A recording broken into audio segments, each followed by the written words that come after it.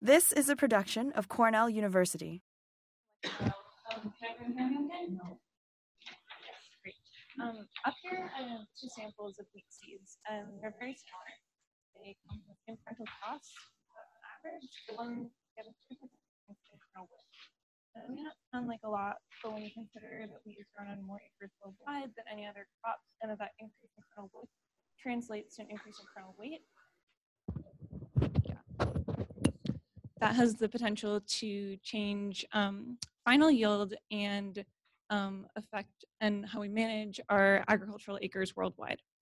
Uh, today I'm going to speak to you about how in the Sorrells Lab we're looking to identify regions of the wheat genome that implement or are implemented in affecting kernel weight and size um, and their potential for being introgressed into elite varieties. So cereal crop yields can simply be modeled as the spikes per area by the kernels per spike and by the weight per kernel. And considering the economic importance of yield, there have been countless genetic associations looking into these different yield components. But there's been less success in actually identifying the causal variants and implementing them in elite varieties. Part of that is due to the fact that the wheat genome is very large and hexaploid, and also that yield itself is a quantitative trait. It's controlled by many small effect variants across the genome, and um, even these three simplifications illustrated here are quantitative traits themselves that are often negatively correlated. Considering this, it's important when we're studying yield to break it down into its individual components. Looking specifically at kernel weight and kernel morphology, this is largely controlled by the grain filling characteristics, such as how long a variety of wheat is photosynthetically active in the field, as well as the physical parameters of the kernels themselves, such as their length and their width, and those are both under independent genetic control. Um, when we're developing a new wheat variety, the kernel weight and shape are important traits to consider because they both can impact, like I mentioned, final yield, but also flour yield, which is um, both going to be bottom economic lines for a grower and a mill in selecting variety. Returning though to the more um, elusive characterization of the genes that um, underlie these traits, the wheat community has recently had some the release of new tools that are going to allow us to go beyond QTL associations and actually pursue fine mapping and cloning of those traits. Those include the release of a fully annotated wheat reference sequence genome, as well as the prospects of gene editing and tools like CRISPR. We can pursue the um, fine mapping and positional cloning of yield components. The wheat CAP, or Coordinated Agricultural Project, aims to do just this. It's a concerted effort across 15 land grant universities to identify genes that control different yield components and then implement them into wheat breeding programs. Cornell is a part of this effort, and specifically in the Sorrells Lab, we're looking to identify genes that impact kernel weight and kernel shape. To do this, we're using a biparental population across between the spring wheat varieties, W7984, um, or synthetic W7984, and Opata M85. And those have formed mapping reference populations. We have access to double haploids as well as a large population of recombinant inbred lines. And previous work in the Sorrells lab indicated to us that there were grain morphology traits on the group 5 chromosomes, but our challenge now is to zoom in on those and identify um, the positional, um, the gene architecture and physical positions of causal variants. To do this, we have a two-pronged approach. We can first validate the QTL across environments and locations and years um, using the double haploids, and then we can gain finer resolution and pursue fine mapping by using heterogeneous inbred families. These are essentially near isogenic lines that differ at the QTL, we developed them from selecting recombinant inbred lines that we're segregating for the QTL or our regions of interest, and then have continuously inbred them so they're largely fixed across the genome, but um, have either parental's allele at the QTL as a control for our purposes, or they're segregating, which will allow us to identify key recombination events that are associated with our positive trait of interest. Um, all of these plants are field grown. We've been working with the double haploids and the HIFs in the field since 2016, and they're planted in headrows for the double haploids, but um, we have to plant the HIFs as individual space planted rows because um, they're segregating again, and we tag them individually as you can see here, um, so we can keep track of them for all of our phenotyping and genotyping purposes. Um, the genotyping, this is a largely, um, or the synthetic Opata population is widely used in the wheat breeding community, so we have access to a lot of public resources for genotyping.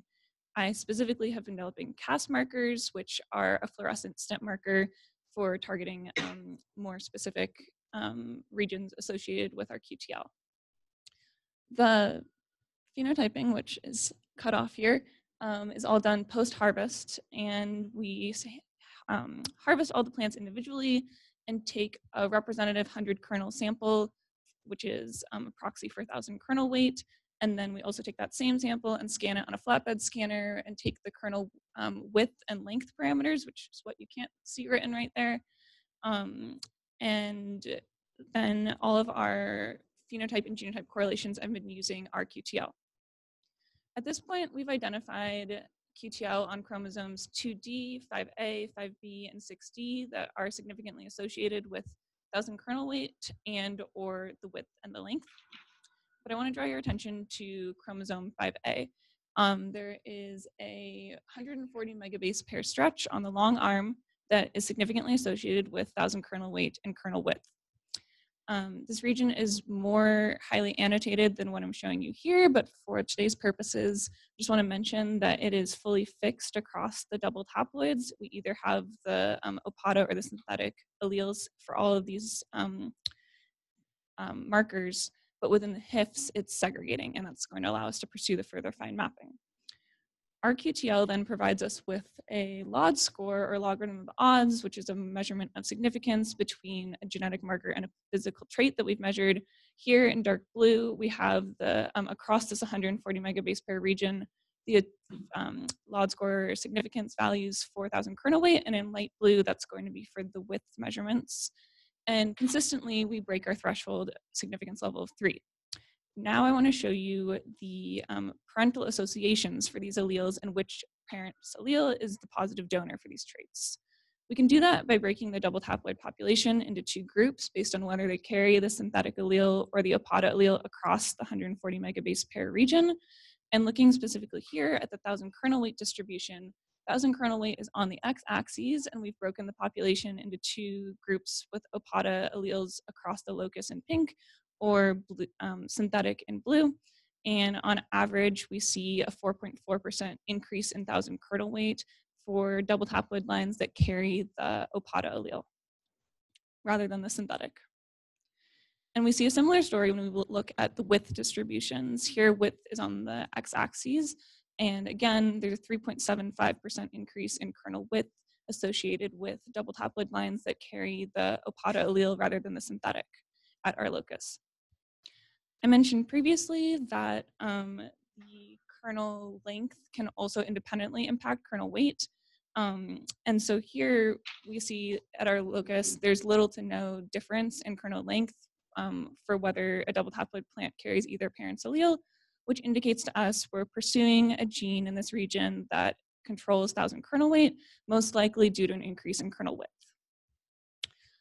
Our ultimate goal is to be introgressing these genes into varieties um, that farmers like to grow. We're doing this simultaneously by backcrossing um, the genes as we continue to find map them into elite varieties grown by domestic farmers, as well as through the Wheat CAP's collaboration with CIMMYT. And we'll continue to pursue um, the identification of candidate genes and then further um, identify and validate the gene architecture through mutant populations and then potentially gene editing if that suits our purposes. A challenge that I mentioned is that the double haploid population has limited resolution, but if we return to our methodologies and strategies, um, I can develop KASP primers that target recombination events at our QTL taking place in the segregating HIF population. Over 200 HIF plants were harvested from the field this summer and they've been genotyped um, and I'm in the process of phenotyping those, and those correlations will lay a strong foundation for the continuous fine mapping of these traits and um, our field plantings this summer. With that, I'd like to say thank you to the many advisors that I have on this research and would be happy to answer any questions.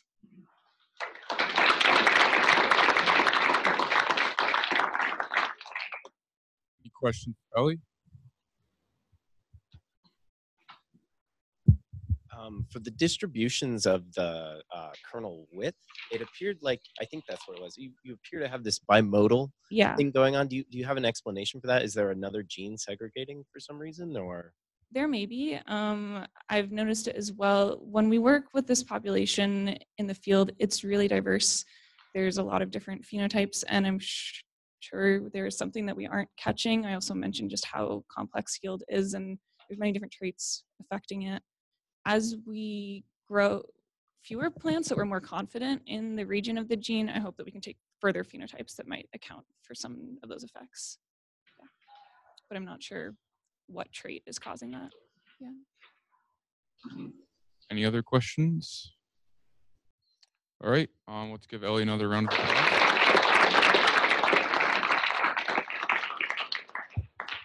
This has been a production of Cornell University.